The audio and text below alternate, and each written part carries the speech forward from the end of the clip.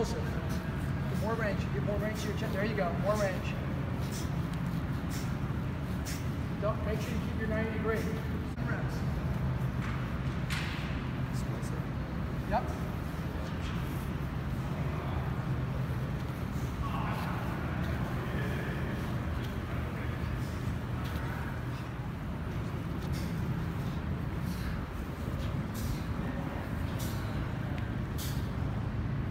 Good.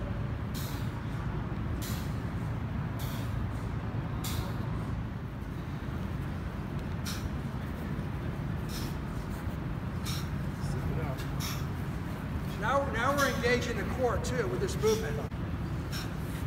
Now his adductor has to, now he's lighting up his adductor in his drill too.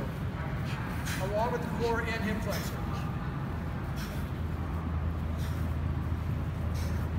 Okay, ne- next to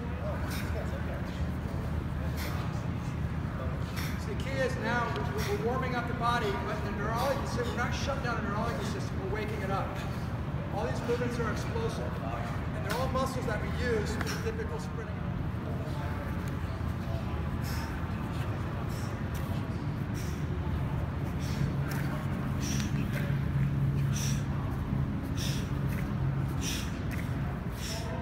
Now, what's going on here? We're activating the right glute here, but there's a there's a heck of a lot going on in his hips capsule right now here on a ground-based leg. Right? He's got to support himself. His torque, everything. He's got to compensate for that.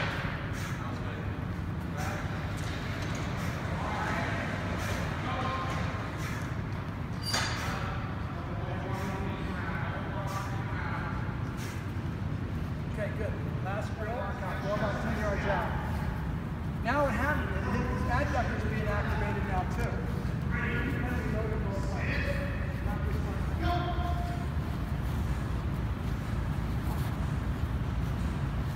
If you have the athlete start like this, they're not going to know which leg to hop off of. If you do this, they instinctively push off the right leg. And I want you to sweep back here. When you come back here, don't stop it here. I want you to sweep and then go back.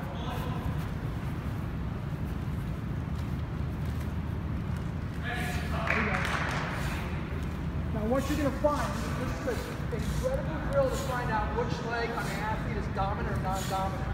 Every athlete you train, say, Scott, which leg is dominant leg? You say, this one, coach. They need to know that. Come follow right through. Don't, don't pause. There you go. And what that does, that challenges the, the, the ground-based leg is much more challenging the hip area now. If you, if you stop here, you make it easier on the ground-based leg. Come through, as you follow through, follow through the stretching, there's a lot more going on there. Unfortunately, a lot more going on to stabilize my body and balance myself when I Now he's going to get eccentric loading in the quads